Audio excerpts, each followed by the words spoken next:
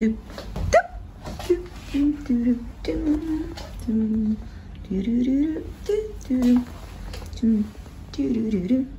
my awesome DIY army, welcome back to the channel. I know that I promised you this mirror over here, but it's holiday in Israel and I couldn't buy the material in time, so we're gonna postpone it of one week. So sign up if you still wanna see it next week. Meantime, we're gonna do something that is absolutely of my dreams. My Instagram has literally been spammed, and I mean spammed with this little suit over here and I'm completely obsessed about it and instead of going and ordering from this super famous store in Amsterdam where all the influencers are posting about I think it's time to remake it with one of our own items.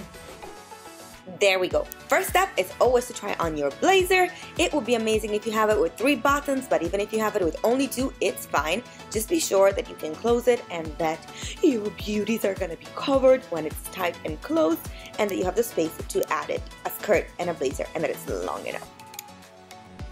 Now that we know exactly where to make our cuts, we just have to place down our blazer and then draw the line. I just got a book as a reference just to be sure I would go straight and you open it, turn the blazer around and follow the same exact line also on the back of your blazer. You just want to make sure that you're going straight and that the result is going to be nice and neat. Da, da, da. Same thing also on the back and we follow the line straight with your book and you're done. Now before we go ahead and cut it we have to check that we are at the right height and we are covering our boobies and more important than all if you are not Polly Pocket size and you're a normal human being, you're gonna have to put some effort in finding a blazer that covers your butt because we need to cover it.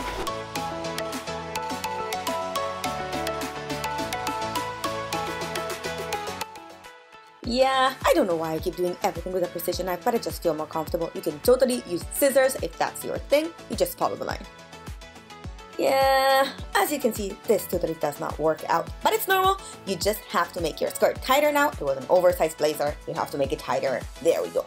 Just add two little spots with your pen where you want to put your buttons both on the skirt and an extra one on your blazer.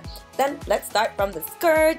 We are gonna have to stitch one inch inside the skirt. So to fold inside the inside, the outside, and make it. What happens now is there's a kid crying outside for like an hour just because he wants to eat pizza. They have a pizzeria downstairs and that's so stereotype Italian, but that's true. Okay, what happens now is absolutely up to you. You can decide to take out thread, needle, and that's gonna be enough to sew your entire skirt. But if you do have a sewing machine, obviously that's gonna give it a more neat look.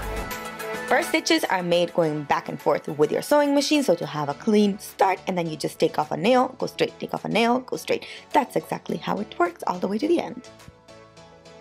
Time to make your jacket! Ta We do exactly the same thing. We're gonna go and pin inside one inch and we have to make sure that we're catching both the inside and also the different fabric that is the inside of the jacket. We go all the way around straight making a little of carefulness on the lines of the sewing nest and then you just go with your sewing machine straight again. Super easy. Let's talk buttons chances that you're gonna have an identical button to stick on the top of your blazers are like zero. So for this reason, I decided to cut out the button that I had on the sleeves so that I can apply it on the front of the blazer because we need a third button. And then instead the ones of the sleeves, I'm gonna replace them with a random one that I find somewhere else. There we go with a jacket. First thing is stitching in the button. You just start from the inside of your jacket so that the knot stays in the inside and then go in and out, in and out, in and out multiple times till your button is secured. Guys, this step is easy. What is going to be a bit more complicated is making instead the hole where we want to pass our bottom through. Go ahead and make a tiny hole exactly where the bottom has to be closed. We test it and see if our hole is big enough. Once it's perfect, as this one, we go ahead and stitch it. How do we do this? Very simple with a lot of patience. You just start from the inside like always and then go inside the hole and around it inside the hole and around it. So to make sure that we're making a circle that is going to make the button secured and no threads jumping out to make it super cute and neat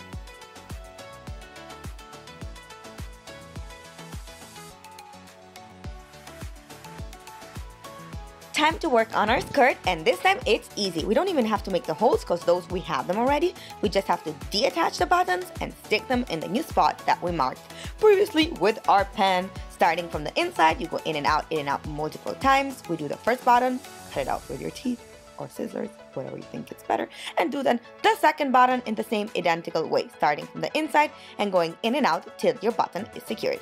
Only problematic part of the skirt is that all the jackets do have one or two folds on the back. Here we have two. This means that we're gonna have to go now and stitch from the inside a closure so to be sure that our bump stays the trick here is to overlap one piece of the material on the other one and then we're gonna have to sew putting the needle only halfway through the material. You see it's double. We don't want to catch the external part of the material, only the inside, so that we're not going to see any stitch from the outside. You go over and over doing the entire length of it and it's going to be enough for you to be secured and covered on both the poles. Ta-da! You see? You see how it works? Awesome! We're gonna have to do the same identical thing also on the other side. We arrived at this point where it's already looking pretty cool, but as you can see, it's an oversized blazer, so it does not have a waistline. So the trick to do this is put your skirt backwards, and then I'm gonna show you how to do it. How to do it.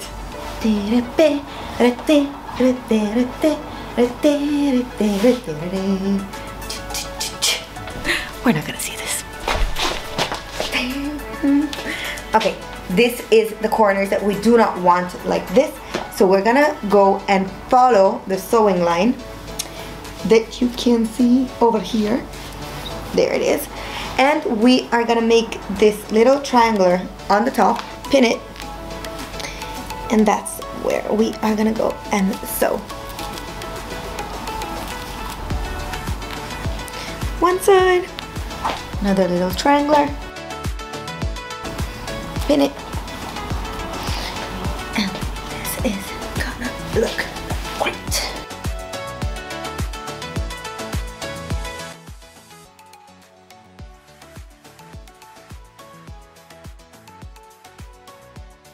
Cut your sewing machine and just go with a straight line. You see it's a triangle, super neat on the inside and on the outside you don't see anything because it's on the same sewing lines. Guys, I'm so excited and I'm so happy that I decided to do this blazer outfit suit on my own instead of ordering it online. Don't forget to subscribe and come next week because the super attended and desired Ultrafragola mirror over here is gonna come out. And now, let's go and see the results.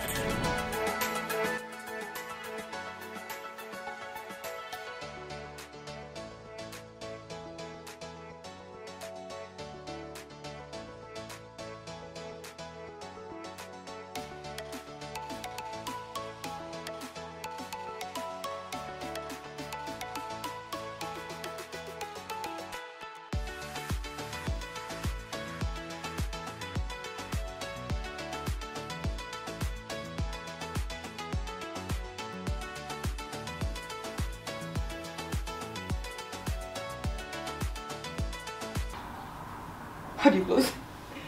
Okay, we got it.